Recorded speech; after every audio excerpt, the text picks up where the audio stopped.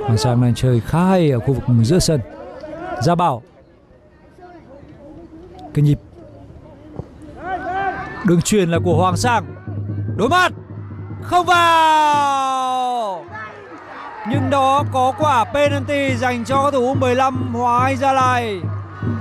Vẫn là những đường truyền của Hoàng Sang Và vẫn là những tình huống thoát đi Rất tốc độ của Gia Bảo. Trong pha bóng vừa rồi thì trọng tài xác định là thủ môn Vũ Tuấn Anh đã phạm lỗi với Gia Bảo. Và đây là niềm vui của các cổ động viên, các phụ huynh của các cầu thủ đội U15 Hoàng Gia Lai. Không có lỗi việt vị.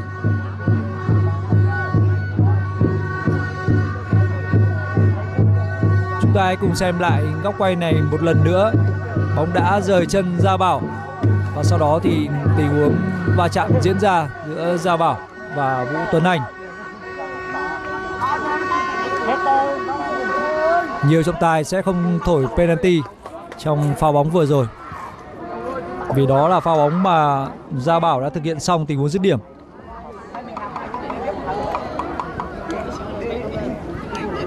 Thì tình huống va chạm mới bắt đầu diễn ra.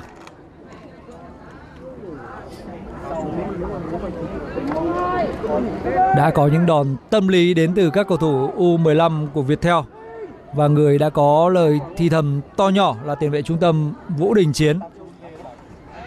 Tiền đạo Trần Đắc Lộc sẽ là người thực hiện quả đá penalty này. Rất có thể là bước ngoặt của trận đấu sẽ diễn ra vào thời điểm phút thứ 44. Đắc Lộc và Vũ Tuấn Anh rất tập trung, rất hồi hộp. Đắc Lộc không vào nhưng rất có thể là sẽ có một tình huống đá lại của các cầu thủ U15 Hóa Anh Gia Lai. Trợ lý trọng tài đã bắt lỗi thủ thành Vũ Tuấn Anh vì lỗi bước lên trước khi Đăng Lộc thực hiện cú đá.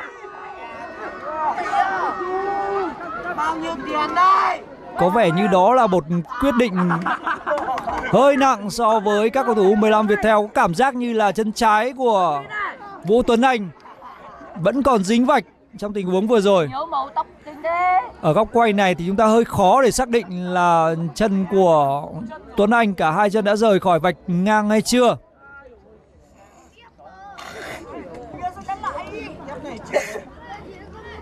Và Hoàng Anh Gia Lai đã thay người đá phạt.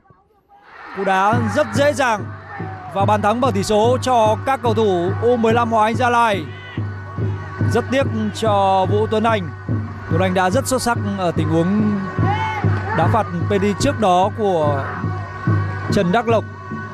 Nhưng ở tình huống dứt điểm sau đó thì anh đã không thể ngăn cản được tình huống dứt điểm bằng chân trái rất khéo léo của các cầu thủ tiền đạo bên phía câu bộ U15 Hoàng Anh Gia Lai. Người đã dứt điểm trong tình huống dứt điểm thứ hai của penalty thứ hai, đó là Nguyễn Bảo Đức. Lần này thì Bảo Đức đã lừa được Vũ Tuấn Anh một cách tương đối dễ dàng và bây giờ thì lợi thế đang thuộc về U15 Hoàng Anh Gia Lai.